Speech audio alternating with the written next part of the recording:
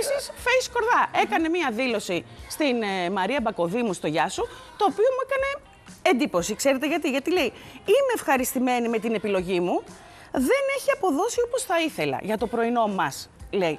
Θέλω να πω ότι έχει μία γενναιότητα να βγαίνεις και να λες, χωρίς δικαιολογίες, χωρίς να μιλάς έμεσα, αλλά άμεσα, ότι ξέρετε κάτι. Δεν πήγε όμως όπως θα ήθελα. Πιστεύω ότι θα το καταφέρουμε. Του χρόνου. Ναι, ε, και Τι θα βγει να πει, θα το τι- κόψουμε; Όχι, δεν πήγε όχι, για να το τι θα βγει κόψουμε. θα πει να το κόψουμε. Όχι, θα Όχι. μπορούσε να μην Να μην απαντήσει το και πει. να πει Ε, καλά. ακριβώς. Και να πει ότι μια χαρά πάμε, παιδιά. Πρώτη χρονιά είναι. Βλέποντας και κάνοντας. θες να πεις ότι παραδέχεται ότι η ίδια είχε μεγαλύτερες φιλοδοξίες, ή μικρές ή μεγάλες. Θα σου πω ευθέως τι φιλοδοξίες κατάλαβα εγώ. Σχετικά με το πώς θα αποδώσει. Να σου πω εγώ στα- ευθέως στα τι νούμερα. κατάλαβα.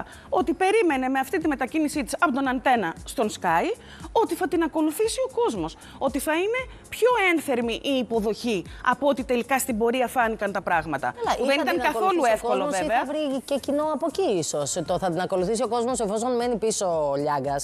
Δεν θα την ακολουθούσε όλος ο κόσμος, γιατί προφανώς κάποιοι ο βλέπουν δικός για της τον ο Λιάγκα. κόσμος Ο υποτίθεται, δικός του ο έτσι. κόσμος. Εντάξει, έχει, είναι μοιρασμένος αυτός ο Εσύ κόσμος. γιατί είσαι σκεπτικός και προβληματισμένος. Γιατί σκέφτομαι ότι δεν είναι θέμα προσώπων. Ότι έτσι κι αλλιώς θέλω να πω ότι ο Sky είναι στο μυαλό του τηλεθεατής ω ένα ενημερωτικό κανάλι, ειδικά Ε, βέβαια. εκείνη τη ζώνη. Ναι, ναι. Είχε συνηθίσει να βλέπει συγκεκριμένους του ατέρια τους. Θέλω να πω ότι είναι δύσκολο να ταυτιστεί. Συγγνώμη, η, η, η Μαλέσκου τι ώρα έβγαινε; 12-2. Πιο μετά.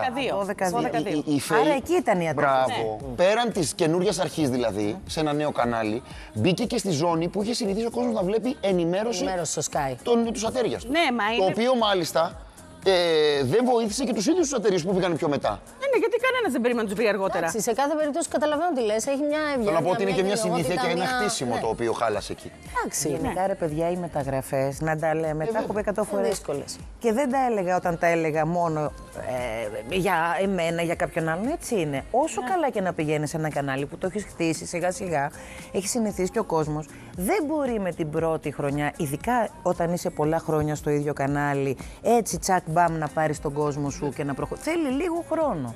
Ε, τώρα, εγώ δεν μιλάω για θεματολογία, μιλάω, μια και μιλάμε μόνο για τον κόσμο. Αυτό. Για τη συνήθεια μιλάμε. Για τη συνήθεια μιλάμε. Μπράβο.